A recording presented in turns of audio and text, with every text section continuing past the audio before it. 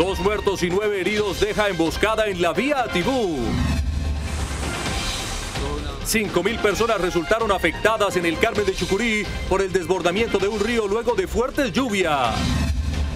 Policía del Magdalena Medio logra la captura de alias Ponche, cabecilla del grupo delincuencial Los Independientes. Detalles de esta información en minutos. El hurto a personas y particularmente de teléfonos celulares hacen parte de los principales delitos que se cometen en el municipio de Ocaña. Laboratorio que producía dos toneladas de coca mensuales fue destruido en Durania, norte de Santander.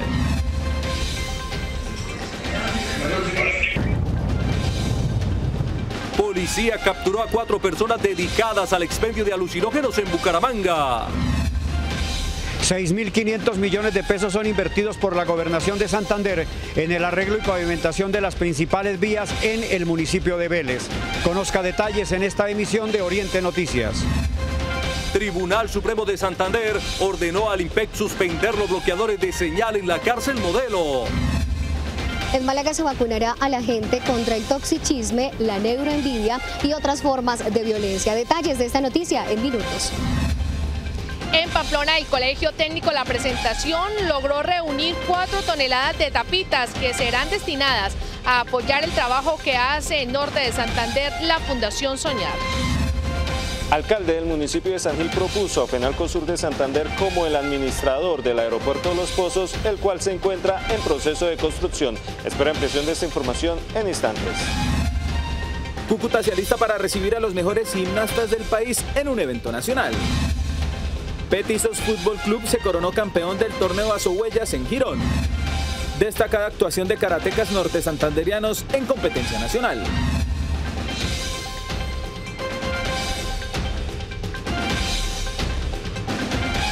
Desde los estudios centrales del Canal TRO presentamos Oriente Noticias. Hola, ¿qué tal? Muy buenos días. Bienvenidos a Oriente Noticias, primera emisión. Ya listos para entregarles a ustedes toda la mejor información del Oriente colombiano. Saludamos especialmente a todas las personas que a esta hora se conectan a través de la señal abierta, los diferentes cableoperadores y quienes nos escriben y nos sintonizan a través de Facebook Live. Rápidamente iniciamos con la medida de pico y placa a nivel eh, oriental para que usted sepa cuál es eh, ese, esa placa que le va a evitar a usted salir y pues que tenga sanciones. Hola Karen, muy buenos días. Muy buenos días John para usted, para todos los televidentes. Pues vamos a iniciar, como ya es rutinario, con la ciudad de Bucaramanga para que los conductores que aún están en casa sepan si deben sacar o no el vehículo. Hoy será para las placas que finalicen en los dígitos 7 y 8. No podrán circular por las principales vías desde las 6 de la mañana hasta las 8 de la noche. En el municipio de Pamplona también se encuentra esa restricción. Desde las 8 de la mañana va hasta las 6 de la tarde y hoy será para las placas que finalicen en los dígitos 5 y 6 no podrán tampoco circular. En Ocaña la restricción se encuentra desde las 7 de la mañana, va hasta las 7 de la noche y hoy será para aquellos vehículos que finalicen en los números 4 y 5. Tampoco podrán circular estos vehículos y finalizamos en la ciudad de Cúcuta, capital de norte de Santander, donde inicia desde las 7 y media de la mañana, va hasta las 7 de la noche y hoy será para los vehículos que finalicen esas placas en los dígitos 5 y 6. Evitar sanciones, evitar multas y por supuesto dejar el vehículo casa. Karen, muchísimas gracias. Vamos ahora a registrar todos los hechos que fueron noticia en la noche con nuestro lente nocturno.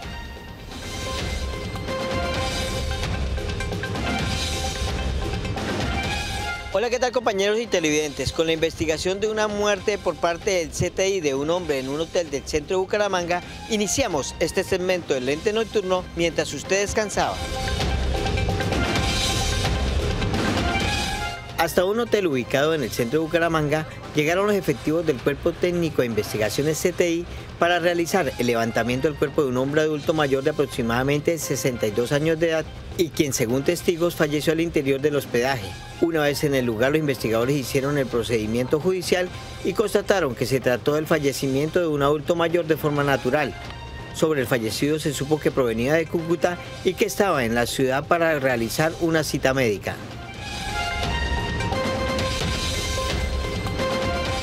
Los profesionales de la salud atendieron a este sujeto que minutos antes y según testigos fue atropellado por un taxista que una vez cometió la imprudencia huyó del lugar del accidente. Al lugar llegaron los paramédicos de las ambulancias de emergencia quienes estabilizaron al lesionado y lo llevaron a un centro asistencial de la ciudad. Asimismo llegó la Policía Nacional e inició la investigación para tratar de dar con el paradero del taxista responsable del hecho. Cuando se desplazaba por la carrera 17A con calle 58 del barrio Ricaute, este motociclista perdió el control de su velocípedo y se estrelló contra el pavimento, causándose heridas en diferentes partes del cuerpo. Habitantes del sector denunciaron que la responsabilidad es de una obra vecina que bota tierra y escombros. No fue nada grave, pero tenemos que tener en cuenta que sí estamos dando residuos. El cambio de la cañería que están haciendo aquí en la carrera 17A con 60, entonces le llamamos más atención a eso, que por favor dejar esto ordenado todo, hay mucho reguero de tierra y eso ocasiona muchos accidentes. Patrullando por una de las zonas más vulnerables y peligrosas de Bucaramanga, como lo es la Virgen al norte de la ciudad, encontramos a gente buena que con el único propósito de ayudar al prójimo le dan una mano a decenas de habitantes de calle. No podemos ser indolentes ante las necesidades. obviamente tenemos eh, aportes de algunas personas que son empresarios, pero muchas veces somos nosotros mismos quienes que tenemos que acudir a, lo, que podemos aportar, así sea poquito, pero todo suma y, todo es en pro de, de colaborarle a la gente que tanto lo necesita. En medio de su desgracia, estos habitantes de calle no han perdido su fe y en un recóndito lugar en medio de la nada hicieron su propio altar. Y lo volvieron a construir. Entonces le pusieron estas, consiguieron estas bolsas de, arena y obviamente lo, lo acomodaron. Hombres como Giovanni marcan la diferencia en una sociedad indolente ante la necesidad y la desgracia de algunas personas. Con la cámara de Cristian Suárez informó para el ente nocturno Daniel Pedraza Mantilla. Vamos a continuar con más información y hechos lamentables que se registran infortunadamente donde dos heridos y nueve muertos se registraron. Samir Castillo, muy buenos días. Usted tiene los detalles de esta lamentable información. John, muy buenos días para usted, por supuesto para los televidentes, pues así es. Norte de Santander amanece de luto por este nuevo atentado terrorista que ocurrió en la vía que del municipio de Tibú conduce al corregimiento La Gabarra, específicamente en el kilómetro 15 cuando una comisión del juzgado municipal de Tibú regresaba de una inspección a dos predios en la zona rural de este importante municipio de la zona del Catatumbo, pues fue activada una carga explosiva. Resultado, dos personas fallecidas, nueve personas heridas, entre ellas miembros del juzgado municipal, miembros del encar de la policía y del ejército. Pero escuchemos al coronel Fabián Ospina, el comandante de la Policía de Norte de Santander, quien entregó detalles y las declaraciones de este hecho que es repudiado a esta hora por todo Norte de Santander y que ya le da la vuelta a la noticia a todo el país. Se activa la carga explosiva y afecta directamente el vehículo donde se transportaba, se movilizaba el juez con, con sus funcionarios. De los hechos tenemos dos muertos eh, que quedaron en el lugar de los hechos. Uno de ellos es el escribiente que quedó dentro del vehículo que se transportaba la, la comisión del, del, juzgado y un transeúnte que, que, iba por el, por el lugar. Los otros cinco lesionados son los cinco integrantes de más que tenía el, el, el vehículo donde se transportaba la, la comisión. Entre eso está el, juez que tiene unas esquilas a la, a la, altura de la espalda. En este sitio delinque los gados residual de la FARC y del ELN. Ya nosotros nos encontramos realizando la investigación, se encuentran las unidades de policía judicial realizando el levantamiento de los cuerpos. Los lesionados van a ser trasladados al hospital de aquí de Cúcuta. Eh, de los lesionados por parte de, la institución tenemos tres uniformados, tres policiales eh, con aturdimiento acústico, igualmente tres soldados con lesiones de esquirlas en las extremidades inferiores en las piernas. Las identidades de las personas fallecidas son el eh, Chaquit Yene Beltrán, escribiente del juzgado y secretario del juez municipal, un particular que aún no ha sido identificado, que lastimosamente pasaba en ese momento por el lugar tres policías por trauma acústico. Se trata del subintendente Carlos Eduardo Méndez Mendoza, del patrullero Jonathan Sánchez Páez, del patrullero Guillermo Rodríguez Buitrago, tres soldados quienes recibieron eh, heridas por proyectil de arma de fuego porque luego de que se activara esta carga explosiva eh, fueron hostigados con eh, ráfagas de fusil, uno con costilla rota, otro con afectación al homoplato y el tercero heridas en extremidades inferiores. Y cinco civiles de los que se trata Gregorio Andelfo Martínez Pavón, juez promiscuo municipal de Tibú, quien recibió esquirlas en la espalda, Cirley Julini Gómez Rodríguez, abogada con esquirlas en pierna derecha, Mario Peña Vargas, propietario del predio, con trauma severo en brazo derecho, Omar Ortiz Pérez, conductor con trauma acústico y Héctor Rodríguez Díaz, perito evaluador, quien fue herido con herida abierta en rodilla, en rodilla izquierda. Samir, lamentable esta información que entregamos a esta hora de la mañana. Vamos ahora con noticias en Barranca Bermeja, donde fue capturado alias Ponche, un importante delincuente de la banda Los Independientes. Alejandra Rincón, usted tiene todos los detalles. Buenos días. Hola, muy buenos días para todos ustedes y es por medio de una orden judicial que la policía logra la captura de alias Ponche que está sindicado por los delitos de homicidio, concierto para delinquir y porte ilegal de armas de fuego. Hasta zona rural del municipio de San Pablo llegaron las tropas del ejército y en compañía de los uniformados de la Policía Nacional lograron la captura de ese cabecilla de la banda delincuencial Los Independientes quién era la persona que se encargaba de generar extorsiones a los comerciantes en el sector de San Pablo. Este era un delincuente que ya hace bastante tiempo se le estaba haciendo seguimiento. Con 40 años de edad, este hombre conocido como alias Ponche deberá responder ante la justicia por tres delitos. Concierto para delinquir agravado, fabricación, tráfico, porte o tenencia de armas de fuego y homicidio agravado en grado de tentativa. Esta persona ya estaba generando homicidios selectivos en este municipio y producto también de la extorsión a diferentes comerciantes, era el que estaba generando temor en la comunidad en el municipio de San Pablo y gracias a las denuncias de la, de la comunidad se pudo dar con la captura de este delincuente. El apoyo por parte de la ciudadanía fue fundamental para dar este golpe y desarticular uno de los grupos que generaba terror al sur de Bolívar. Y es así como un juez de la República decidió dictar medida de aseguramiento en centro penitenciario para alias Ponche. Por el momento, la información judicial que se registra desde el puerto petrolero. Continúen ustedes con más Oriente Noticias hasta hora de la mañana. Gracias Alejandra por toda la información desde Barranca Bermeja. Samir, debo volver con usted para preguntarle cómo ha continuado el tema de la seguridad en la frontera, qué nuevas noticias hay al respecto. Pues John, con los recientes hechos que ya datan de cinco balaceras, tres personas fallecidas en medio de las trochas y más de tres personas heridas, es materia de análisis y preocupación por parte de las autoridades locales quienes en las últimas horas debatieron este tema tan álgido que preocupa a las fronteras específicamente al que divide el corregimiento La Parada con San Antonio Estado Táchira, en donde está la trocha conocida como la Marranera y la trocha conocida como la Isla. Y nos vamos a Cúcuta, al sector del Escobal, en donde existe la trocha conocida como el Águila, que divide a este importante barrio de Cúcuta con Ureña, Estado Táchira. Pues allí el alcalde de Cúcuta en una reunión con demás autoridades locales manifestaron la importancia de que se aumente el pie de fuerza en estos pasos irregulares o comúnmente llamados trochas. Por eso se le envió una solicitud al Ministerio de Defensa y en donde se espera que el, Guillermo Botero, el ministro de la Defensa, pueda eh, atender esta solicitud de aumentar el pie de fuerza en la zona. Escuchemos las declaraciones del alcalde César Rojas.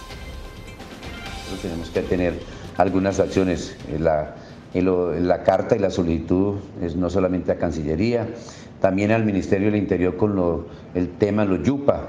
Mire que ya se están, eh, los delincuentes están buscándolos ya para involucrarlos dentro de estas, estas bandas criminales y eso es bastante delicado y también al ministro de Defensa que tome decisiones y que revisen el tema sin buscar un provocamiento hacia Venezuela, pero sí aumentar el pie de fuerza con la policía que siempre ha estado allí o que el ejército tome algunas acciones correspondientes en la línea limítrofe. Hay que resaltar, televidentes, que los esfuerzos de la Policía Metropolitana han sido notorios en los últimos días. Se ha enviado más personal del GOES rural que han estado apostados en las trochas en donde han sido epicentro de estas balaceras. Y producto de eso, en las últimas horas en la trocha conocida El Águila, que divide al Escobal con Ureña, Estado Táchira, fueron capturados tres sujetos que se movilizaban en una camioneta tipo estacas. A los sujetos les fue hallado en su poder dos pistolas y una subametralladora marca UCI 9 milímetros. Ellos fueron capturados y fueron puestos a disposición de inmediato de la autoridad competente. Pero escuchemos al coronel José Luis Palomino, el comandante de la Policía Metropolitana, hablando de este importante operativo y de estas importantes capturas para determinar si estos sujetos pertenecen a alguna banda delincuencial en Colombia o de algún grupo irregular en Venezuela. Es importante este hecho, ya que uno de los capturados reporta antecedentes por hechos delincuenciales. Reposa también en sus antecedentes una solicitud de captura. Es de total satisfacción operativa e investigativa para la Policía Nacional lograr estas tres capturas que desafortunadamente se han venido presentando hechos a lo largo y ancho de la frontera. Lo que más preocupa, aparte de estas balaceras que ha dejado tres personas fallecidas, más de tres personas heridas, es que en esos mismos pasos irregulares es constante el paso de migrantes venezolanos y de colombianos que viven del otro lado de la frontera. Por eso la preocupación es aún mayor y se necesita, dicen las autoridades locales, el aumento del pie de fuerza. No solamente lo dicen las autoridades, lo dicen las personas que día a día cruzan por estos pasos irregulares, John. Bueno, Samir, esperemos que toda esta situación poco a poco se vaya mejorando. Vamos al municipio de Ocaña, donde infortunadamente el incremento del hurto de celulares se ha venido presentando y las autoridades tomando acciones. Raúl Rolando Castro, usted tiene más detalles. Buenos días. Compañero, muy buenos días. La confirmación la han entregado las autoridades. Es el hurto a personas y particularmente a teléfonos celulares lo que más viene preocupando a las autoridades. La Riviera, el Bosque, el Centro y el Ubito fueron los sectores donde recientemente se registraron hurtos mediante la modalidad de raponazo y donde se lograron respuestas oportunas por parte de la fuerza pública. Gracias a la oportuna reacción que, eh, y al trabajo mancomunado, vuelvo y reitero, por parte de la ciudadanía, que está llamando oportunamente, está haciendo... Eh, llamando a la línea telefónica del cuadrante, inmediatamente se puede reaccionar y tener esos resultados positivos donde podemos recuperar ese patrimonio de los ciudadanos. Las autoridades reconocen que la batalla actual se libra contra los ladrones que a diario hacen de las suyas en las calles de la ciudad y donde los teléfonos celulares son objetivos prioritarios de los delincuentes. Se ha presentado hurto a personas, lógicamente, eh, teniendo en cuenta pues desafortunadamente la, parte de confianza que nuestros ciudadanos manejan en la calle, donde ingresa la llamada a su teléfono y ellos sin mirar ni, mirar la parte de las medidas de autoprotección, sacan su teléfono inmediatamente a contestar y pues ahí es donde se presenta el factor de oportunidad al delincuente, ¿no? Ha indicado la fuerza pública que, aunque parezca obvio, ante las actuales circunstancias, lo correcto es no portar los teléfonos celulares en lugares visibles para los delincuentes y de tener que utilizarlos en las vías públicas, hacerlo a través de manos libres o dispositivos que hagan más complicado el accionar de los ladrones. Las autoridades han invitado a la ciudadanía a tomar las medidas de precaución y evitar ser víctimas de los delincuentes. Con la cámara de Jesús Zúñiga, Raúl Rolando Castro para Oriente Noticias Primera Emisión. Muy buenos días. Muy buenos días para usted también, Raúl Rolando. Vamos a hablar ahora de una situación que se vivió en Bucaramanga, unas capturas que se realizaron eh, en esta lucha, Karen, del tema del microtráfico. Así es, John. Pues durante las últimas horas se han logrado capturas de cuatro personas por la distribución de estupefacientes. Se dieron esas capturas en dos sectores de la ciudad de Bucaramanga. El primero de ellos se registró en el sector conocido como eh, El Bosque, donde justamente se logró la captura de un hombre de 19 años de edad y otro de 20, quienes fueron sorprendidos con una importante cantidad de dosis de estupefacientes. Esta captura se dio cuando abordaban a estos dos hombres que tenían en su poder más de 500 dosis de estupefacientes entre marihuana y bazuco. Además, también fueron encontrados eh, dinero en efectivo que era producto de estas ventas y en otro procedimiento que se llevó a cabo en el asentamiento humano El Llanito, se capturan entonces dos mujeres, una de 24 años y otra de 31, una de ellas de nacionalidad extranjera y ellas fueron capturadas en el momento en que comercializaban estupefacientes mediante la utilización de armas de fuego. Pues según lo ha establecido las autoridades, estos presuntos delincuentes serían los encargados de abastecer y comercializar grandes cantidades de estupefacientes, principalmente en horas de la noche y también los fines de semana, donde expendían más de 1.200 dosis de estupefacientes en el área metropolitana de Bucaramanga. Pues ellos ya fueron presentados ante la Fiscalía General de la Nación, quien les definirá su situación jurídica por los delitos de fabricación, tráfico y oporte de sustancias estupefacientes y porte ilegal de armas Este es el resultado entonces de estos últimos operativos entregados por la Fiscalía y también por la Policía Nacional y que en esta oportunidad dejan grandes resultados durante el fin de semana, que fueron aproximadamente 80 personas capturadas por diferentes delitos.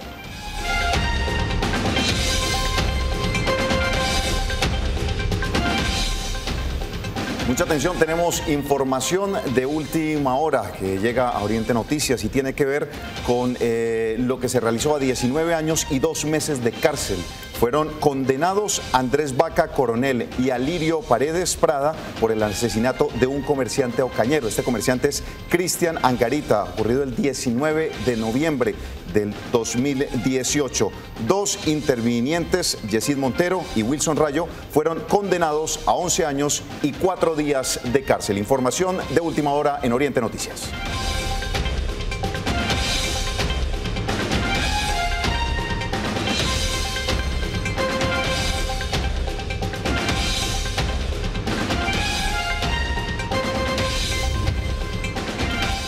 Vamos a revisar otra importante información. Samir tiene que ver con la atención que se está prestando a los venezolanos en los hospitales. ¿Esto cómo va? ¿Si se está prestando no se está prestando? ¿Cómo está la situación?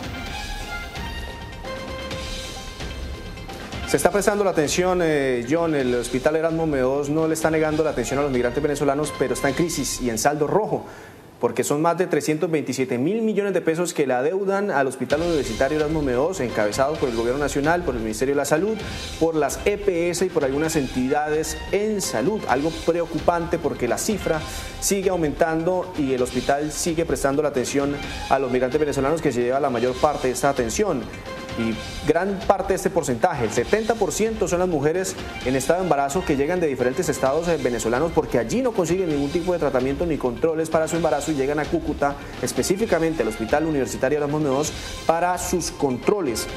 Hay que resaltar, según las cifras de las directivas del hospital, y es que a partir del año 2015, cuando Nicolás Maduro decidió cerrar las fronteras con Colombia, se inició con un poco más de 600 la atención a las personas que llegaban de Venezuela. En el 2017, en el 2016 aumentó a 2.000, en el 2017 ya, son, ya eran 6.000 personas y para el 2018 sobrepasó la barrera de los 14.000 migrantes venezolanos que llegaban buscando atención médica. En este 2019 la cifra nos la entrega Juan Agustín Ramírez, el gerente del Hospital Universitario universitario Erasmo Nuevos, por supuesto, una cifra que ya preocupa. Escuchemos.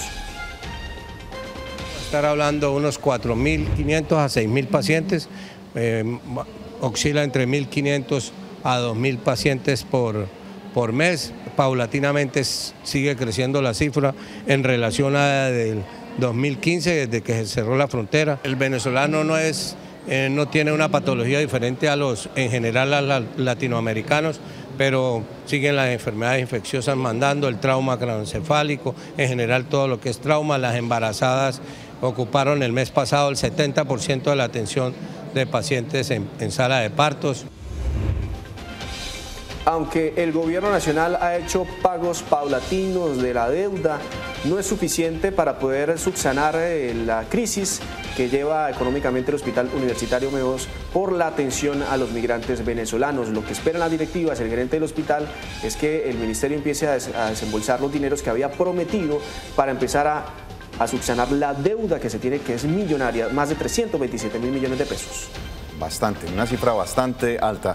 Vamos ahora a revisar las situaciones que se han venido presentando por cuenta de las lluvias, en donde se han registrado eventos importantes, Carlos.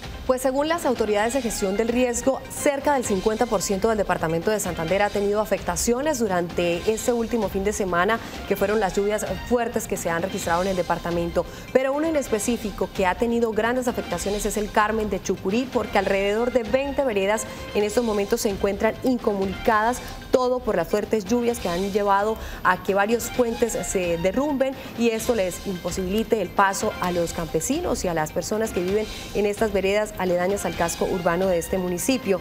Pues el aguacero que cayó la madrugada de este martes ha generado grandes, grandes afectaciones en puntos de este municipio, según el secretario de Planeación, pues afectó tres puentes que atraviesan este afluente y ha dejado afectaciones en los campesinos porque no han podido transportar sus cultivos y esto les deja grandes pérdidas económicas. El punto más fuerte o el más grave fue el puente Casino, donde el agua destruyó una de las aletas del puente y está socavando uno de los estribos, por lo que la afectación pues podría ser muchísimo mayor. Ellos piden a las autoridades de gestión del riesgo a través de la gobernación de Santander pues poder trasladar la maquinaria hasta este punto y empezar a resolver un poco, a solventar esa situación que los ha tenido incomunicados. De igual manera, Lo preocupante también es para los productores de cacao, de aguacate y también de otros cultivos que como lo hemos mencionado, pues tienen ahí eh, los cultivos sin poderlos sacar desde el municipio del Carmen de Chucurí. Esta es la situación que viene afectando y también otra de las preocupaciones tiene que ver con el hecho ocurrido en Barranca Bermeja, donde cuatro personas también resultaron heridas por un rayo, entre ellas una menor de edad en uno de, de sus pies. Así que la gobernación y las autoridades pues estarán atentas para poder llegar hasta este lugar a atender la emergencia que presentan estos habitantes y que en estos momentos los mantiene con la atención y la preocupación por encima. Bueno, y las lluvias van a continuar, así lo manifiesta aún el IDEAM, por lo menos hasta finales de junio. Vamos con otra información. Samir, ¿cómo eh, se vienen realizando los operativos en contra del porte ilegal de armas? ¿Qué resultados ha tenido la policía? Ha arrojado una cifra positiva, pero a la vez que preocupa. En el ocurrido del año, John, la policía ha dicho que ha incautado 132 armas, todas puestas a, a disposición de la autoridad para hacer los coteos balísticos para determinar la comisión de homicidios recientemente en las últimas semanas que se han registrado en la capital del norte de Santander. Pero los operativos van más allá y hay una tendencia porque en las últimas horas fue capturada una mujer de 25 años en el barrio Nuevo Horizonte de la comuna 8 de Cúcuta. Fue sorprendida ella caminando por la calle, los uniformados se le acercaron, vieron la actitud sospechosa, dentro de su bolso llevaba un revólver calibre 38. De inmediato fue capturada, puesto a disposición de la autoridad competente, quien va a determinar su futuro de judicial. Sobre todo porque en menos de un mes esta es la segunda mujer que es capturada, sorprendida, llevando en su bolso armas de fuego que posiblemente está haciendo en materia de investigación, están las bandas delincuenciales instrumentalizando a las mujeres para que pasen desapercibidas y puedan llevar las armas para cometer hechos de sicariato en diferentes zonas neurálgicas de la capital del norte de Santander o para determinar si ellas mismas son las que están cometiendo estos hechos delictivos. Esta es la tendencia que se está marcando ahora y en este operativo pues esta mujer fue capturada y puesta a disposición de la autoridad competente. John. Samir, muchas gracias. Vamos ahora a Vélez, donde se están realizando unos importantes trabajos en el mejoramiento de las vías urbanas. Luis Antonio Camacho, usted tiene toda la información. Buenos días. Compañeros y televidentes, ¿qué tal? Buen día y atención que la gobernación del departamento de Santander invierte cerca de 5.500 millones de pesos en el arreglo y pavimentación de las principales vías en el municipio de Vélez. La administración municipal colocó alrededor de mil millones de pesos, de acuerdo a lo anunciado por el presidente del Consejo Municipal de esta capital provincial, el periodista Oscar Marín Ariza. Inicialmente esta inversión asciende a los 6.500 millones de pesos, los cuales fueron eh, presupuestados por la gobernación del departamento por 5.500 millones de pesos y mil millones de pesos que presupuestó la administración municipal. Las obras estarán eh, listas antes del próximo mes de agosto, cuando la capital folclórica de Colombia realiza el tradicional Festival Nacional de la Guavina y el Tiple y el desfile de las flores. Está previsto entregarlas hacia el mes de agosto. En este momento Vélez es un caos y hay inconformismo por parte de la comunidad, pero toda obra requiere incomodidad, dijo el alcalde de esta localidad, Javier Leonardo Pico. Con la cámara de Weimar Aldemar Gómez López, les presentó para Oriente Noticias Luis Antonio Camacho González. Luis Antonio, muchas gracias por toda la información. Hablemos ahora del Catatumbo y lo que se está realizando con estas vías sostenibles. ¿De qué se trata esto, Osamir? John, le cuento que Ecopetrol y los alcaldes de Norte de Santander firmaron un importante convenio para mejorar vías terciarias.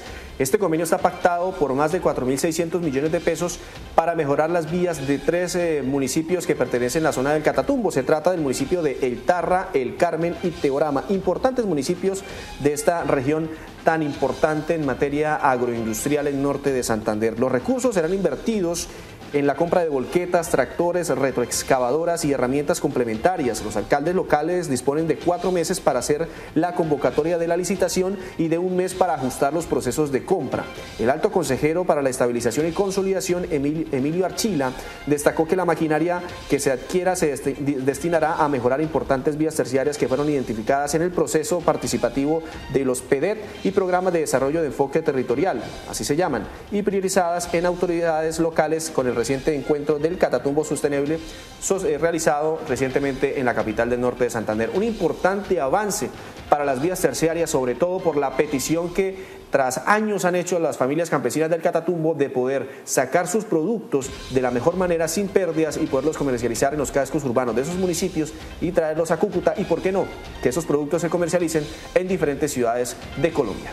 Samir, muy necesario, veíamos en las imágenes difíciles eh, formas en las que tienen que transportarse. Bien por esta información que traigamos a esta hora. Vamos a conocer ahora en algún punto de la ciudad la movilidad para que usted sepa eh, de qué manera está circulando el tráfico vehicular. Karen, ¿en dónde estamos? Estamos exactamente, Johnny Televidentes, en la carrera 22 con calle 47, el barrio La Concordia de la ciudad de Bucaramanga, donde a esta hora vemos que hay flujo vehicular, sobre todo de motocicletas, transita mucho por ese lugar, también vehículos de servicio de transporte público, por ahí pasa la ruta justamente de este servicio. Y miren, quiero que observemos esta malla vial que queda en este sector, donde ya varias de las personas que quedan allí ubicadas o que residen en este lugar han tenido que colocar objetos como esta tabla y otros para poder evitar cualquier tipo de accidente. Pues vemos hay que en este sector hay mucho hueco, hay un deterioro en esta malla vial, lo que impide que muchas personas puedan transitar normalmente.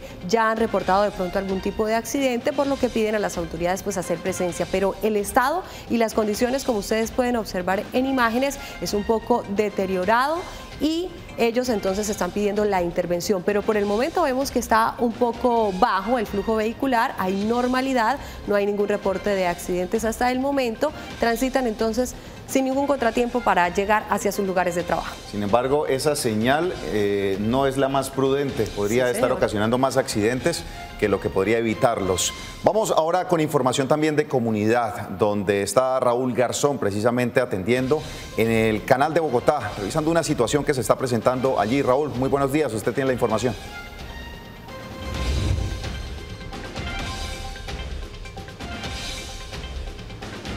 Hola compañeros y televidentes, muy buenos días. Pues sí, efectivamente continuamos eh, atendiendo este llamado que hace toda la comunidad, especialmente de eh, Cúcuta y todos los diferentes barrios. Pues sí, como ustedes lo dijeron, nos encontramos aquí en la avenida eh, Canal Bogotá, que colinda con los barrios Gualanday y también con el barrio del Bosque. ¿Por qué?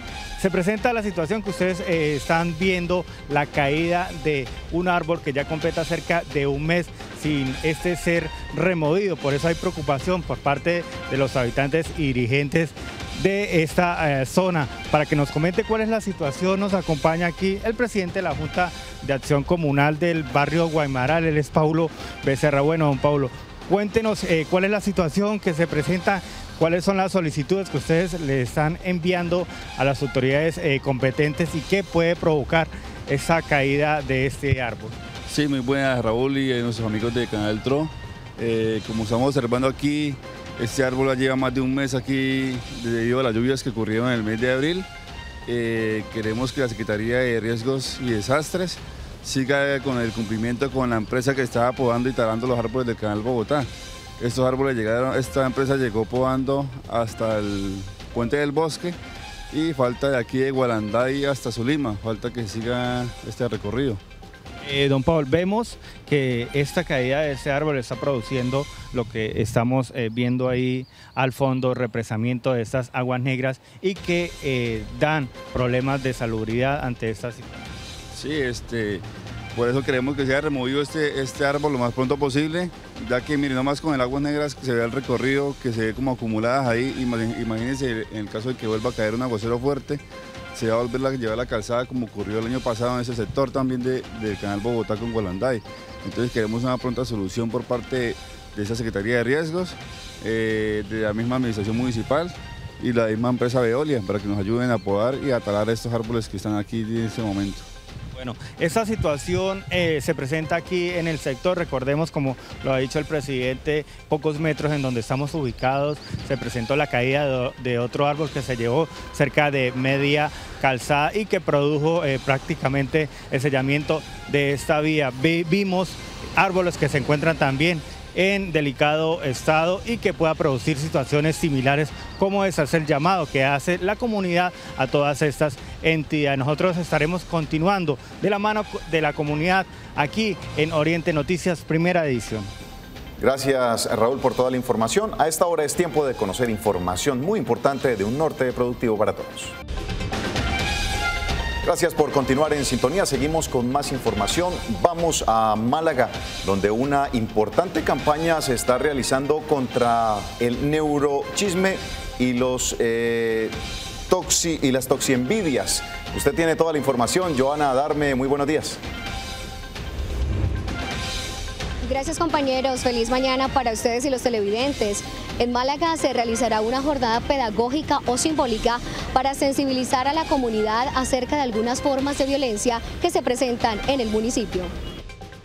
Por encima del consumo de sustancias psicoactivas, la violencia en varias de sus manifestaciones encabeza la lista de problemáticas que se presentan en Málaga según diagnóstico del PIC 2019. El plan de intervenciones colectivas es un convenio existente entre la Administración Municipal y el Hospital Regional García Rovira. En esta oportunidad estamos invitando a todas las personas del municipio de Málaga Santander a que se vinculen a la primera feria de la salud que se hace a nivel departamental. La jornada busca erradicar el chisme, la intolerancia y la envidia como factores que afectan la salud y la sana convivencia. En las dimensiones de salud mental y convivencia ciudadana y salud sexual y reproductiva vamos a realizar una campaña que se llama Vacunación contra la Violencia. Esta es una campaña que realizó la Cruz Roja a nivel nacional hace algún tiempo, así que la queremos implementar en el municipio de Málaga, ya que es una de las problemáticas que aqueja a nuestra sociedad. La vacunación contra este tipo de conductas es gratuita y aplica para personas de 0 a 100 años. Es la información que se registra en la ciudad de Málaga. Continúen con más de Oriente Noticias. Muy buenos días. Muy buenos días, eh, Joana. Vamos ahora al municipio de Toledo, donde se está haciendo una importante pavimentación. Jairo Leal, usted tiene todos los detalles. Compañeros en estudio, buenos días. Acompañamos a la administración de Jairo Alberto Castellano Serrano en la entrega de una importante obra en el corregimiento de San Bernardo de Bata, 500 metros lineales en la calle Segunda. La alcaldía de Toledo sigue cumpliendo con su plan de desarrollo.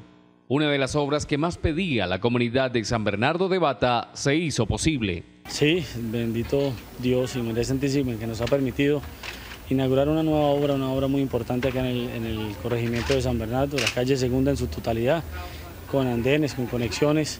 Es una obra que, supera los mil millones de pesos y que definitivamente quedó muy bonita. Felicitar a los ingenieros, agradecerle a los concejales, a la Junta de Acción Comunal, a, a, todo el equipo de la administración municipal, a la comunidad que estuvo muy pendiente de que la obra se hiciera de la mejor manera y bueno, a toda la comunidad de San Bernardo, de verdad agradecerle por habernos permitido eh, servirles y, colaborar en esta bonita obra. La comunidad de San Bernardo, garante de este proyecto, agradece la gestión de la administración municipal. 500 metros de pavimento rígido con sus andenes todos enchapados. Se hizo el alcantarillado, adecuación de un canal de agua lluvias que estaban perjudicando la parte del colegio y eso también se logró sanar en este gran proyecto. De parte de nuestra comunidad, muchas gracias señor Jairo Alberto Castellanos. En estos días se espera la inauguración de otras obras importantes para el municipio de Toledo. En la Cámara, Didier Leonardo Leal Mendoza les informó Jairo Alonso Leal Vera. Sigan ustedes con más información en Oriente Noticias. Jairo, muchas gracias por todos estos importantes detalles. Vamos a revisar la situación de la lucha contra el narcotráfico. Un nuevo laboratorio de coca fue desmantelado. Samir, ¿en dónde? John, el hecho, este laboratorio fue desmantelado en la vereda Viejo del municipio de Durania, en zona buscosa de este importante municipio de norte de Santander. Allí fue ubicado tres estructuras rústicas de madera que componían este laboratorio para procesar dos toneladas de clorhidrato de cocaína mensuales. El ejército y la policía, la brigada contra el narcotráfico, atribuyen este, este laboratorio al frente Germán Velasco Villamizar del ELN que delinque o que tiene su operación criminal en ese municipio de norte de Santander. En el lugar, en esas tres estructuras, fueron hallados 90 kilos de insumos sólidos y cerca de 900 galones de insumos líquidos. Además fue puesta a descubierto maquinaria usada para la fabricación del alcaloide como un destiladero o llamado comúnmente marciano. Dos hornos microondas, cuatro mesas artesanales de madera, tres tipos de marquillas, cinco sistemas de precipitación, mezcladores, mesas de filtro, entre otros. Mejor dicho, un laboratorio muy completo dentro de la zona boscosa de la Viejo que pertenecía al ELN y que tenía esta capacidad de producir 2.000 kilos de clorhidrato de cocaína, dos toneladas que muy seguramente iban a ser enviadas a diferentes países del continente europeo, asiático y norteamericano, en donde hasta se cuadruplica el valor de solo el kilo de pasta base de coca que se fabrica en norte de Santander. Pues son contundentes golpes que asesta la policía y el ejército en norte de Santander. Sami, muchas gracias. ¿Hay preocupación, Karen, o hay tranquilidad con el tema de lo que se ordenó, de quitar los inhibidores de señal de celular en las cárceles? Pues tranquilidad para los habitantes que habían interpuesto una, un oficio con varias firmas para lograr lo que hoy ha ordenado el juez administrativo de Bucaramanga. Pero hay preocupación para las demás eh, ciudadanos por el tema de las llamadas extorsivas que se han venido realizando al interior de las cárceles. Pues queremos contarles que el fallo del Tribunal Administrativo de Santander va a beneficiar a mil habitantes del barrio del occidente de Bucaramanga. Estamos hablando del barrio que por más de seis años los habitantes habían manifestado ya su preocupación o su angustia. Estamos hablando del sector de Villas del Prado de Bucaramanga, que son los que viven al lado de la cárcel modelo de la ciudad, pues porque la, la señal estaba bloqueada Recordemos que esto se tiene todo un dispositivo electrónico de un radio de 800 metros aproximadamente que había sido instalado para poder evitar estas llamadas extorsivas desde la cárcel. Pues hay que decir que estos habitantes eh, estaban preocupados, manifestaban su inconformidad, por lo que tenían toda la señal de ellos eh, prácticamente sin señal. Estaban estas personas, no tenían el servicio de televisión, no tenían servicio de internet, servicio de wifi, pero en esta oportunidad pues ya el juez le ha ordenado al INPEC poder quitar esos dispositivos y que la señal pueda ser recuperada en estos sectores. Hay preocupación en las demás ciudadanía, pero pues hay que ver qué irán a, decir, porque el INPE ha dicho que van a revisar este fallo, pero que estarán ahí pues pendientes del tema. Pues tal vez estaban instalados, pero no funcionando, porque igual las llamadas extorsivas desde la cárcel continuaban. Vamos ahora a San Gil, donde el aeródromo de Los Pozos podría estar siendo administrado por Fenalco. Heriberto Mariscal, usted tiene más detalles. Buenos días.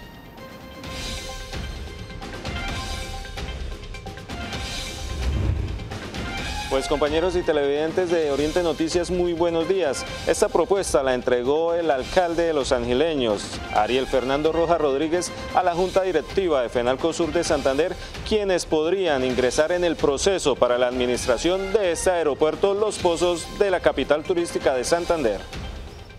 Dice el mandatario de los angileños que el diseño para la construcción de la terminal de pasajeros, que ya tiene la adjudicación de recursos económicos, en próximos días se conocerá por intermedio de la gobernación de Santander. ¿Quién mejor que Fenalco sea la entidad que administre la terminal aérea de pasajeros? Fue una propuesta que les hice públicamente y si lo aceptan, pues estaremos nosotros eh, adelantando lo pertinente dentro del marco legal para que esta institución siga adelante con este propósito y que siga acompañando a la administración municipal, tanto esta como la que viene. Con ello, Ariel Rojas asegura que esta obra no se convertirá en un elefante blanco y muy pronto estará al servicio de la comunidad para que el sur de Santander tenga un acceso mucho más rápido, no solo para Colombia, sino para el mundo. Bueno, el proceso es que ellos acepten, una vez acepten, pues ya es iniciar con el proceso que viene adelantando la gobernación de Santander, la licitación pública, la adjudicación, la firma del contrato y la ejecución de la obra. Y una vez se entregue, tengamos nosotros todos los pasos legales para que a ellos se les entreguen. Esta es toda la información por el momento desde el municipio de San Gil. Continúen compañeros con más noticias desde estudios. Heriberto, muchas gracias. Vamos ahora a San Gil, donde una importante campaña para niños con cáncer a Pamplona se va a estar realizando eh, con una tapatón. Dolly Xiomara Niño, muy buenos días. Usted tiene toda la información. Gracias, buenos días. Fue la tercera tapatón que lidera el Colegio Técnico la presentación. Aquí los estudiantes compitieron por reunir el mayor número de kilos de tapitas que serán destinadas a la Fundación Soñar, que recordemos respalda a los niños con cáncer. Eh, el Colegio de la Presentación ha sido punto de acopio y ha sido el colegio líder en Pamplona para que todos los colegios también vengan, depositen sus tapitas acá y afortunadamente pues a través de todos estos años se han podido recoger muchísimas toneladas gracias a, toda la comunidad de Pamplona. La rectora del colegio premió a las mejores, aquellas niñas que trabajaron en equipo y que reunieron el más número de tapitas que tendrán el destino final apoyar a los niños que sufren enfermedades terminal. Unidos con la Fundación Soñar, unidos con las personas que sufren cáncer, motivamos a todo Pamplona, a toda la comunidad. Y a nivel institucional le dijimos a cada niña, cada tapita es una moneda, cada tapita ayuda a salvar una vida. Entonces nos unimos en esta gran eh, tercera tapatón, ya llevamos tres años uniendo a la Fundación Soñar ya tienen todas las expectativas porque se ha conseguido institucionalizar en este colegio que viene siendo líder en el municipio en apoyar con la tapatón para que en el próximo año esta cifra de 3 o 4 toneladas se supere. Me despido con esta información desde Pamplona. Les doy paso a ustedes en estudio. Qué buena campaña, Dolly. Muchas gracias por la información. Tiempo de conocer toda la información importante del municipio de Girón en Tejiendo Futuro.